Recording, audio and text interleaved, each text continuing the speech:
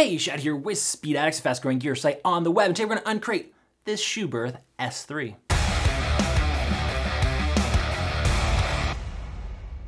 What's up, Speed Addicts fan? Before we jump in and give you that full breakdown you've been waiting for on this new Schuberth helmet, do us both a favor, subscribe to this Speed Addicts channel. That way you don't miss out on any of the latest parts or gear coming your way. Speed Addicts, always getting first look, just like here with the Schuberth S3. Subscribe, that way you don't miss out. Also, if you'd like to support us here at Speed Addicts, you can do so by shopping at speedaddicts.com. We make it real easy. There's a link in the description below. They'll get you right over to that Schuberth S3. You can also shop for any other parts or gear that you may need for your next two-wheel adventure while you're over here.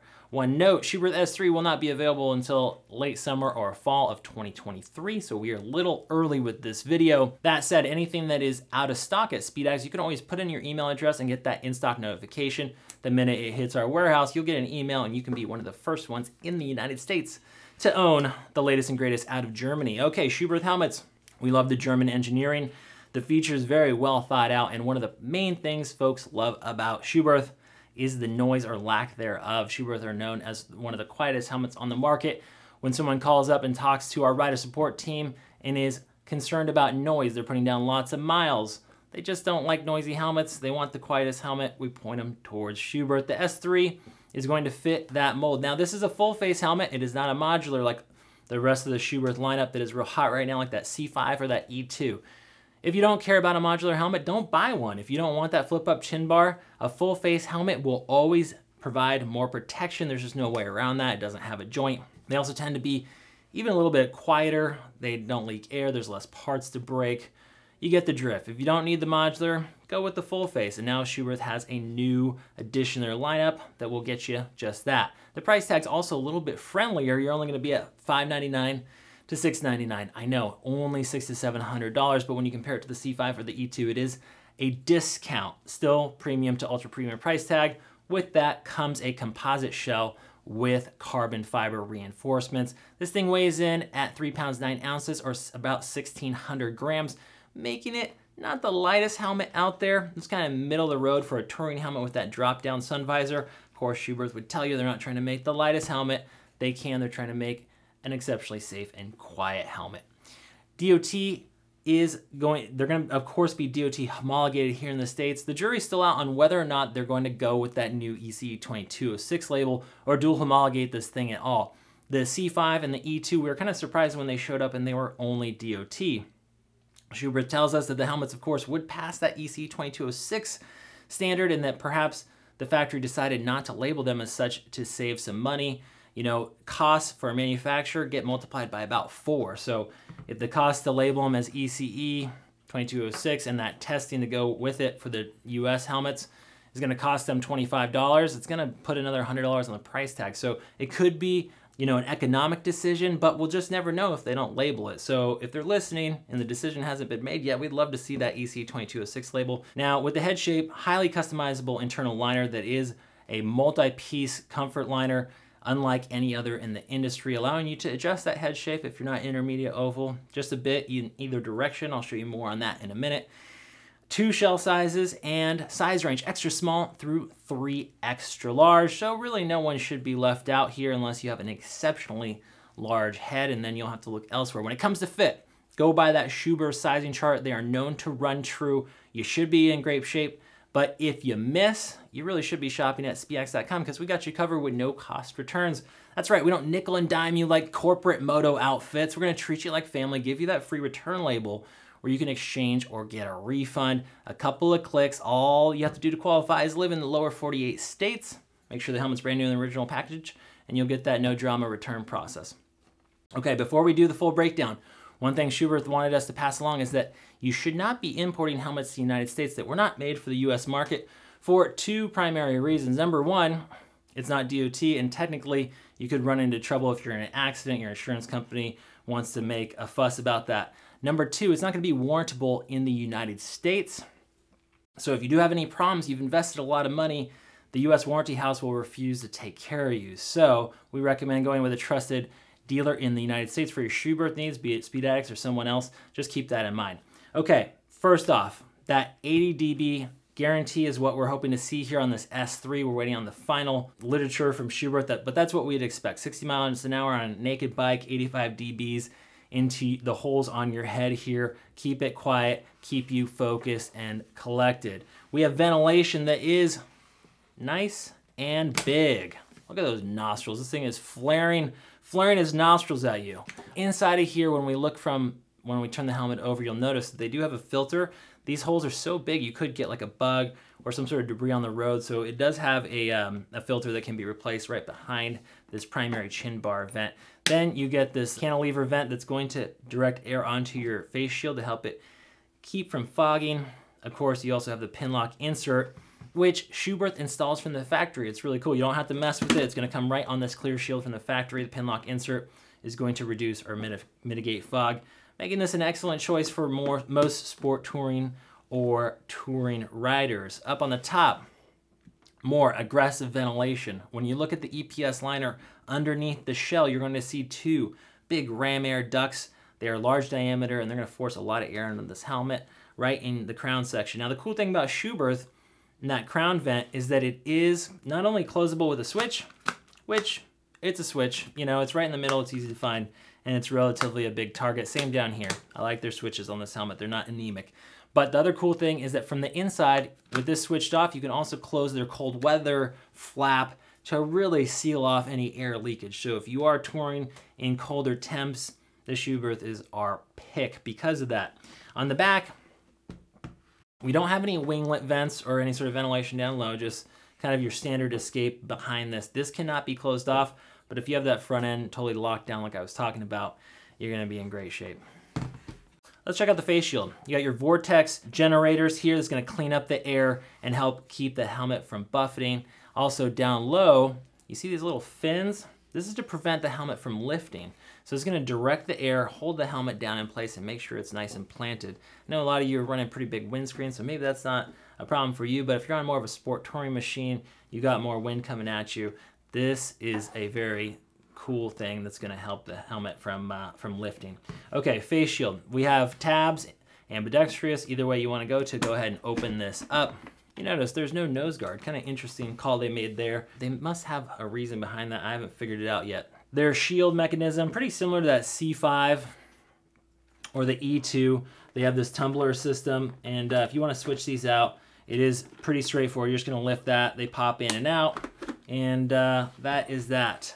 Pinlock insert installed from the factory, like I was talking about before, and it is detented. You have about five or six different stages here. You can leave it clipped just a little bit open at that demist setting if you want to get a little bit more airflow.